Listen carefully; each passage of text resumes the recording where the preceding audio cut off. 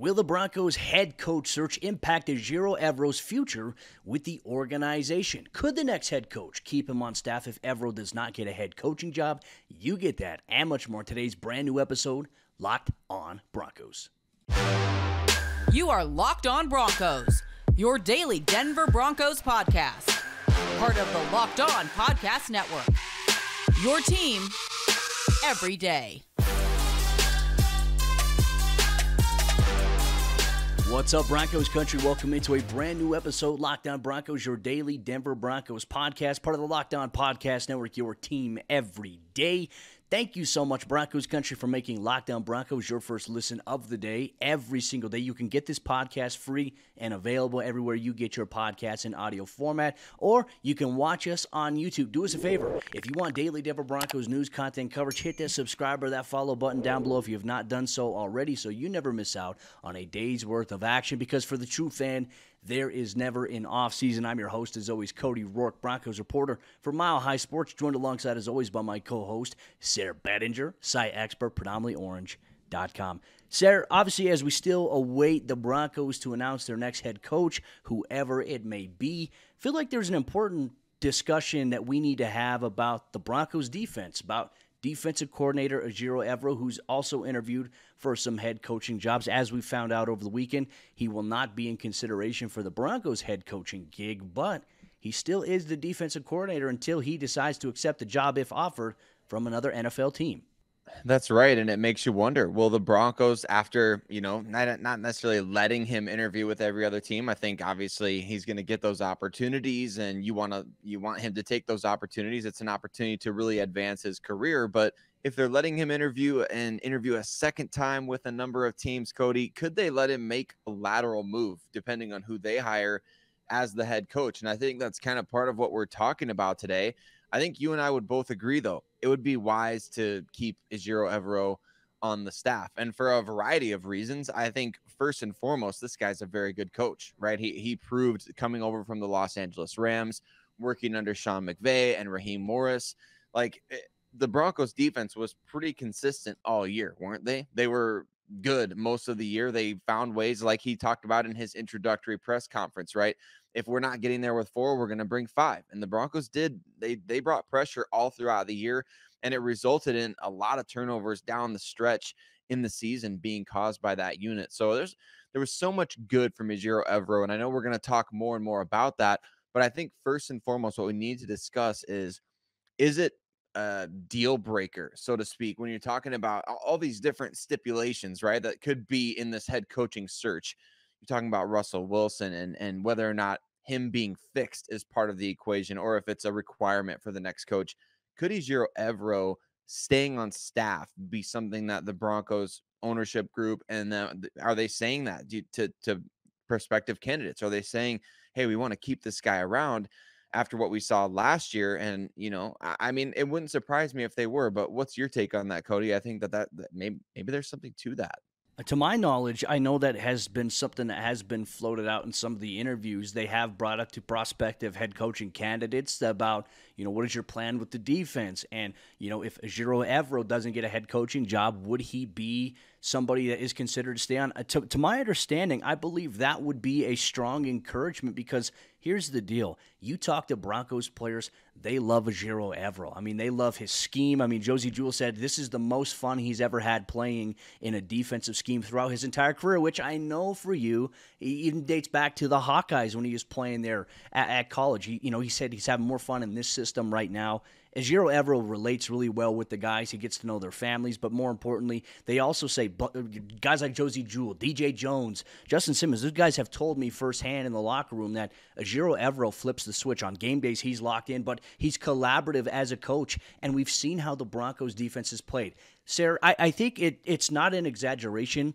when we can both say and we can look at it realistically speaking that the Broncos under Vic Fangio defensively were really, really good. They're one of the top defenses in the league. It's crazy to think that Ejiro Evero was able to come in as a first year defensive coordinator and make that defense even better. I mean, he took Fangio's defense and, as you mentioned, he added more pressure elements to it and it created buy in from every single player. And I, I tell you, I think that's super important, especially when you talk about the fact that the Broncos despite you know the last seven years of change, change, change, you have a chance now to establish continuity, at least on one side of the ball. Now, granted, guys leave, coaches leave for promotions all the time, and if Ejiro ever gets a head coaching gig, he deserves it 110%. But if he doesn't get a head coaching gig this year, you have to keep that unit solidified. You have to keep that unit together. Now, I think there's some other things that we also have to talk about with how things went in Denver last year, obviously Nathaniel Hackett brought Evero over to be the DC. We've talked about it on the show how close those guys were as friends in real life. How things ended for Hackett in Denver. I mean, I, I think it's fair to ask this question. Do you think that could impact whether or not Evero wants to stay in Denver for any reason, whether it be as a potential head coach, which obviously we know that ship has kind of sailed, or as a defensive coordinator? I mean, I think it has to be at least asked, right? It has to be part of the discussion because we already know for a fact that he turned down the interim head coach position in part because of his relationship with Nathaniel Hackett, just out of respect for his good friend, eh, best man at each other's wedding type friends, right? This is not just like a, hey, we're buddies from college who kind of came up in the NFL together. No, these guys are like best friends. So you can't help but wonder, Cody, if there is something to that. And you have to also hope at this point, right? The the Houston Texans job, which we'll talk more about later in terms of just the rumors and things going around about what could impact the Broncos, but at, let's just say without giving anything away about later segments, it seems like the Indianapolis Colts job may be the only job that Ejiro Evero could realistically land at this point based on other things that are coming out right now. So if he doesn't get that job, that's where I think maybe this lateral move conversation comes into play. Because wasn't it the Atlanta Falcons try to reach out to the Broncos to get an interview with Ejiro to be their defensive coordinator, or, or some it was some other team. It was, it, it was the Falcons. Broncos, yeah, the Falcons. Yeah, so the Broncos declined that, of course, and and understandably so. But all is going to depend on who the team hires as the next head coach, what their plan is as defensive coordinator. Remember, if Sean Payton is coming back to the coaching ranks, it was re- reported by Adam Schefter a while back that Vic Fangio was his top pick. Well, Fangio is apparently going to be with the Miami Dolphins, or maybe, maybe not. There's so many conflicting reports about everything these days. But Cody, I just feel like if Ejiro Evero doesn't get a head coaching gig initially, my feeling was he's for sure coming back to Denver. Now, I just I don't know. I feel like the team may let him go to a lateral move with a couple of job openings available, including some connections over there uh, in Minnesota. It's going to be very interesting to see how everything plays out here for the Broncos as the head coach search continues on this week. No news yet on the front of who will be the next Broncos head coach, but we'll have you covered here on the Locked On Broncos every step of the way. The moment it happens, you'll have instant reaction on a breaking news podcast of the show. Let us know your thoughts on Ejiro Evero. If you're watching on YouTube down below, make sure you like this video as well. Comment for the algorithm. Make sure if you want to share your thoughts with us on Twitter, you can always tweet us at Cody Roark NFL, at Sayre Bedinger, at Locked On Broncos. On today's episode of the show, we're going to dive deeper into the realms of Ejiro Evero. If the Broncos hire a brand new head coach, would it be wise for that head coach to keep Evero on staff? We talk about why that is important, and you'll get that on today's episode. Locked On Broncos. This episode of the show is brought to you by our friends at Blue Nile, and Valentine's Day is coming up, which means romance is in the air more than usual. And I don't need to tell all you lovebirds that you've probably had your date plans on the calendar for weeks.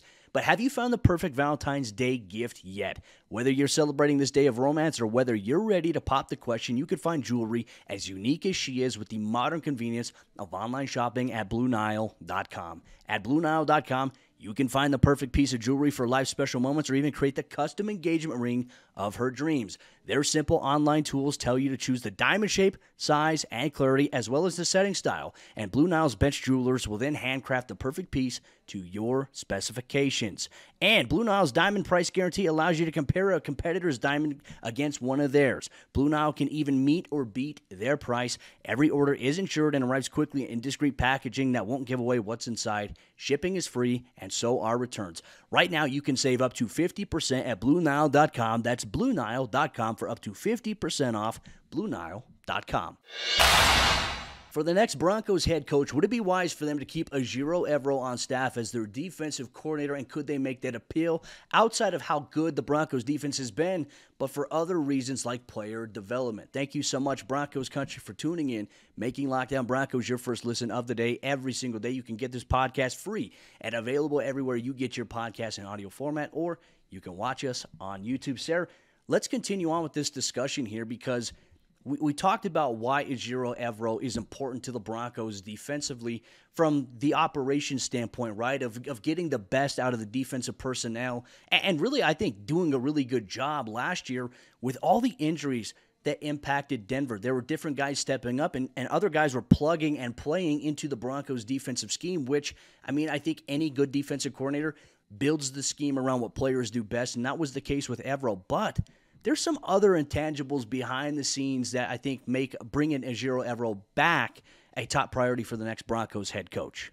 Well, there are. I mean, there's different things from like you mentioned player development, the the scheme that he runs with the personnel that you have, but I think you got to start by talking about the fact that right now in the NFL there is a rule that if some team hires your, you know, one of your coordinators or somebody in your front office to be their head coach or general manager and they are a minority candidate, if that person has been with your organization for 2 years, then you can get multiple third round compensatory picks. So, what does that mean for Ejiro Evero and the Broncos? Well, it means that if, like we talked about in segment one, if the Broncos lose him to another team that wants to hire him as head coach this year, the Broncos get nothing in return. They get no compensatory picks. And and that would kind of, you know, that would that that would hurt a little bit, right? I mean, it would stink to see because you feel like he's on a fast track to being an NFL head coach. And if you've got him on the staff, it, I mean, if the NFL is going to have this rule in place, you might as well be able to take advantage of it, right? So it, it's something that I think that the Broncos right now, Cody, they would get no compensatory picks if he does leave for a head coaching job, which nobody's going to scoff at that, right? If if Ejiro gets a head coaching gig, but this is where the lateral move that we talked about comes into play. Would the Broncos let him do that? Because it would cost them potentially two third round picks to do that. To say, all right, yeah, our our new head coach doesn't necessarily want to move forward with your scheme, or or you don't want to work with him, or whatever the case may be. It would be a sacrifice of potentially two third round picks that is something that I don't know if that's why I wonder did it come up in these negotiations? Like you mentioned, it's been talked about with some of these candidates. Like, what's your plan? I, I can't help but wonder if it's not a defensive oriented head coach coming in, or even if it is. I mean, this is one of the big reasons I think it's draft capital. George Paton, we know he loves those dart throws, right? So that's a big deal to me. Oh, and I think it should be a big deal for, for Broncos country as well. And, and, look, Evero, as good of a coach as he is, I think it's important as well that we highlight some of the things that he's done well outside of you know being able to prime himself potentially for comp- compensatory pick status. I, I feel like under him, right? What was one thing that you and I admired about Vic Fangio and Ed Donatell and that staff when they were here? They were really, you know, good and emphasized player development. Ejiro Evero's the same exact way, and I feel like the defensive coaches that Evero had handpicked on his staff for the defensive side of the ball, I thought they really emphasized player development as well. We saw that clearly. Now, injuries, I think, forced some acceleration on some guys like Eyioma Uwazurike, who, you know, to be honest with you, for where he was at from a playing standpoint, he was kind of behind Matt Henningsen, who was a later round pick than him. But then towards the end of the year, we saw Eyioma Uwazurike step up a little bit and get a little more playing time and, and show that I think he could play on this defensive line. And on top of that, I, I want to talk about cornerback specifically, right? When Ronald Darby went down with the ACL injury, I think we were all sitting there like, oh no, like what's going to happen with the Broncos at cornerback at this point uh, of the season? Because week five, I mean, it was still pretty early on, and you lose a guy like that for the entire year, it really forces you to evaluate how are things going to play out in that moment. Damarri Mathis, who really I think had a meteoric rise in training camp ever since he had that undercut interception against Brett Rypien. I remember watching that play and thinking, wow, this kid has some special talent to him. I'm a cornerback guy, you know that. Damarri Mathis lived up to the hype, lived up to the bill, and continued to grow week in and week out opposite of Patrick Surtain. I think guys like him, guys like Caden Sterns at safety, how well they played is important. And that also coincides with this next guy as well, that I think is really Evero's right hand man on the defensive side of the ball, and that's Christian Parker. Christian Parker, who's been tasked with developing a lot of guys that have been maybe the brightest spots for the Broncos the last couple years, right? Notably, obviously, Pat Surtain, which we know. I mean, maybe could you put Pat Surtain on autopilot with his development, the way that he's driven and the way that he's just built different? Maybe, but Christian Parker, I think, deserves his flowers for helping get him to the next level as well. But you look at guys like you mentioned, Damarri Mathis. What about Caden Sterns making such an immediate impact for the Broncos, even as a rotational guy, getting four interceptions in his first two seasons, Cody?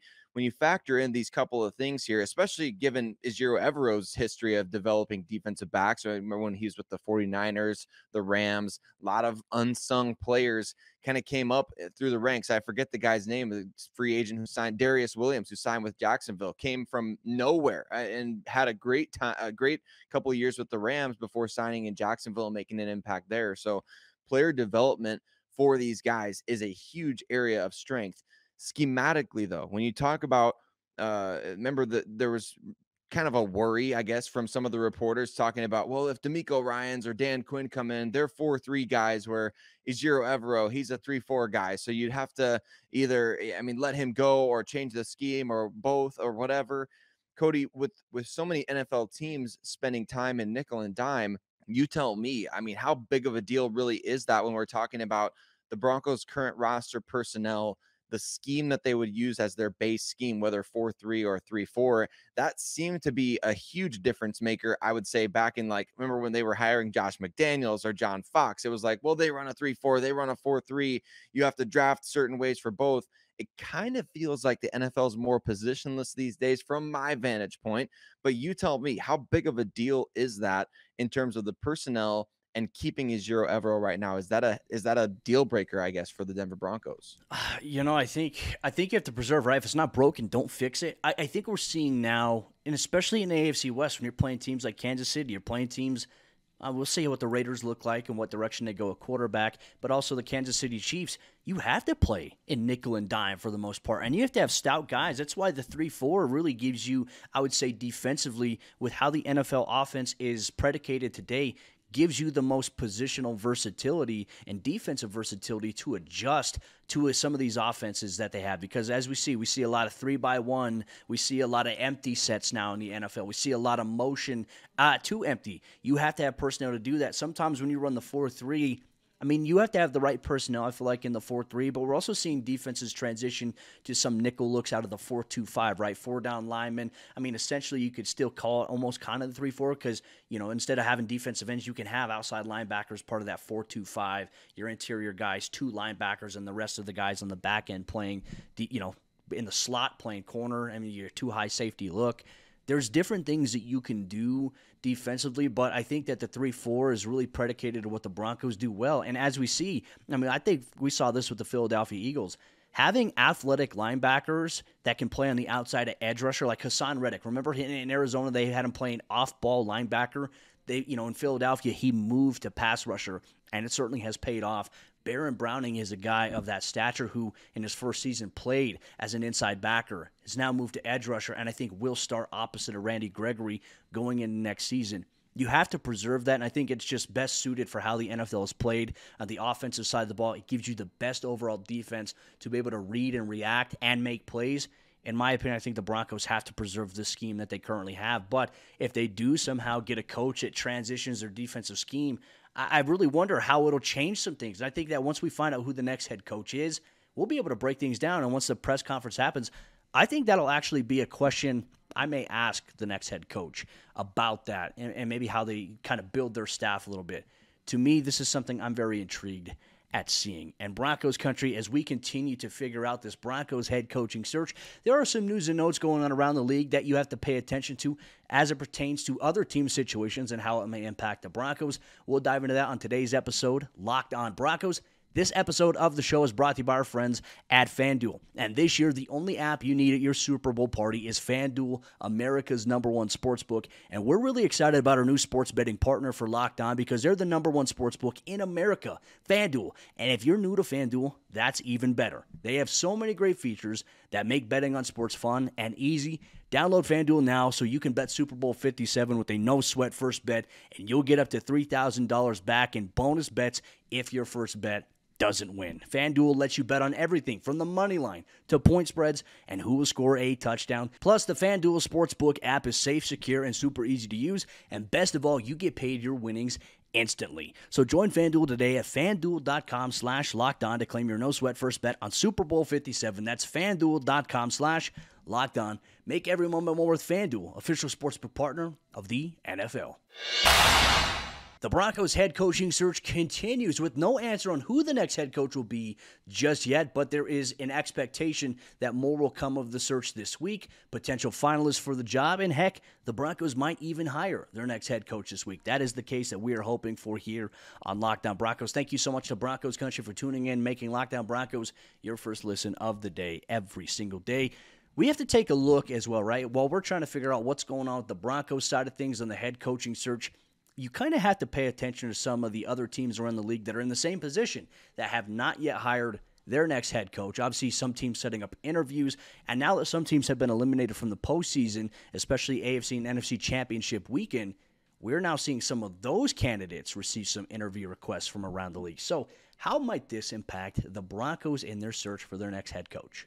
Well, I think it can give us kind of hints as to where we can start the process of elimination, right? With the Broncos' top eight candidates, and just knowing, okay, we talked about it on yesterday's show. It seems like Ejiro Evero, Jim Caldwell, David Shaw, Raheem Morris. It seems like those guys are out of the running. So that's four out of the initial eight, Cody.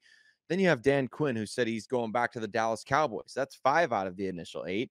Then you have DeMeco Ryans, who appears to be getting hired as the next head coach of the Houston Texans. As of the time that we're recording this, Ian Rapoport reported that he's traveling to Houston potentially Monday afternoon, could finalize a deal by Tuesday or Wednesday, according to Rap Sheet. So we'll see what that happens there. But that would be six out of the eight candidates, right? Uh, unless I'm counting wrong, Cody. So that would leave on the table of the guys the Broncos have interviewed, that would leave Sean Payton and Jim Harbaugh. And that lead that I don't know where to go with that, Cody. I'm just saying that's those are the things that we've been told at this point. Those are the things that have been reported up to this point.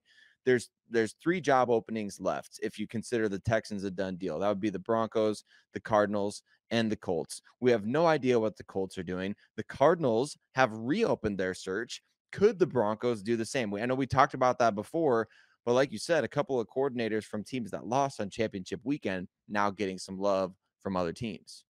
And on top of that, too, you know, I think we see guys like defensive coordinator for the Bengals, Lou Anarumo, I think has done a fantastic job with that defense in Cincinnati the last few years. I mean, he's really kind of been this unsung hero for them. I mean, you you see Bengals fans tweeting about him like, "Oh, we hope we don't lose Lou," and he's getting a lot of praise now. And the Cardinals have requested to interview him. Obviously, we talked about it on yesterday's episode of the show. Brian Callahan, who has some former ties to Peyton Manning, the Denver Broncos at one point in time, he's also you know been requested to be interviewed by the Cardinals. So. We even expanded on Denver could possibly reopen their search, but I mean, as I said, our good friend Mike Klis said that the Broncos' uh, approach, from what he knows, is firm on the initial eight that they had focused on initially. So I, at this point, we don't know what to believe. And there's also been reports that the Broncos are entirely out on Sean Payton. So really, we just have to wait and see what happens. And I feel like that's the important thing, right? Because we can speculate, you know, who we think will be the coach, who we think should be the coach. I know a lot of fans have their preference on who they want as the head coach.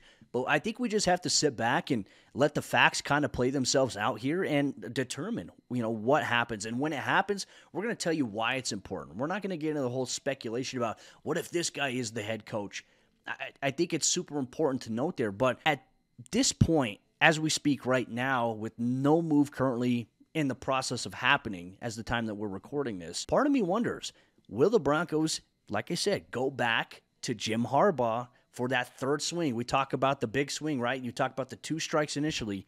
Will they make a final swing here to try to hit a home run with Jim Harbaugh? I think for many people in Broncos country, they would love for that to happen. But right now, it seems like that's probably going to be the reality that Denver's going to do that. It does. It feels that way. It feels like not, it doesn't necessarily feel like circling back to me either, Cody. I think that they went through the interview process. Again, the perception right now is the reality for so many people. And the problem is, is that everybody's kind of creating their own perception of what's going on out there or what's really happening behind the scenes. I know it's causing a lot of tension in Broncos country, but I, I wouldn't say that the team is like circling back to Jim Harbaugh and begging him to be their coach. I think that they're going through this process and maybe they're trying to get him to be the head coach. Maybe they're trying harder, but what do we know about Jim Harbaugh? What have we been reading? The guy wants to be courted. The guy wants to be pursued. He wants to be wine and dine. He wants all this, that, and the other. And I'm I'm fine with that. Look, the theatrics of this whole thing, I don't care. Cody, the Broncos are going to hire a head coach. Whoever it becomes, you know, ends up being. I, I don't know exactly what kind of you know optics it's going to be from the fans perspective but what we do know is this we do know that the broncos have taken some big swings we we know they jumped through the hoops for sean payton we know they've been jumping through hoops to try after jim harbaugh i think if nothing else it, that's admirable but once again, they failed to to get a guy like Frank Reich in the building. They didn't reach out to Shane Steichen. There's so many other things that you could gripe about with this head coaching search that if they don't land Jim Harbaugh or Sean Payton, then I think it does look bad for the team. We'll see what happens as, of Monday, as of the time that we're recording. No new rumors about the surprise, surprise. No new rumors about the Broncos head coaching search. They're keeping things tight lipped. I guess eh, we just have to ride this wave, don't we? And I suppose on the next episode of Locked On Broncos, you'll know exactly what's going on as far as what happened on Monday. Because it seems like, you know, when we close out, Cody, it seems like when we close out an episode, something happens, something tends to happen. So we'll, we'll find out. But you know what? I'm excited. I like the process. I like the fact that we get to kind of talk and speculate every day. Makes it fun for us, makes it fun, I think, for the people that are listening and just enjoying the process. So let's do our best to enjoy it trust the process applying to the Denver Broncos? Who would have thought that would be the reality in which we're at right now? I, I want to throw one more thing out here that simply wouldn't shock me at any point in time. I, I think it's unorthodox. I don't think you see many teams ever embrace something like this. But let's say that the Broncos don't want Sean Payton, right? Let's say that they're truly out on him. And let's say that Jim Harbaugh truly doesn't want to come coach in the NFL. Let's say that that's the reality. Part of me wouldn't be shocked if the Broncos do go back to Jerry Rosburg. Now, I think it's important. A lot of people were, were freaking out because it said that his contract was terminated. His contract ended procedurally at the end of the year, it expired. So that's why that whole thing came out initially that people were reacting to. I still think that there's a chance that if everything falls through, I think Jerry Rosburg kind of gets the helm to lead the team for a year. And then maybe it, maybe Ejiro Evero is ready at that point, and maybe you promote Evero from within as the next head coach. Or maybe there's other candidates that do become available. Or maybe, hey, maybe they revisit Sean Payton next year if he does go back to Fox and is not coming out of there. But there's also some other situations you have to follow. I would not be shocked if Jerry Rosburg suddenly emerges if, if all things kind of fall to the wayside for Broncos ownership in this head coaching search. But one thing, as Sayre mentioned, we'll have you covered every step of the way here until the Broncos announce their next head coach. We'll dive into every news nugget and information that we get, and we'll break it down here with you, the avid listeners in Broncos country, here on the Locked On Broncos podcast. We'll see you tomorrow for a brand new episode of the show.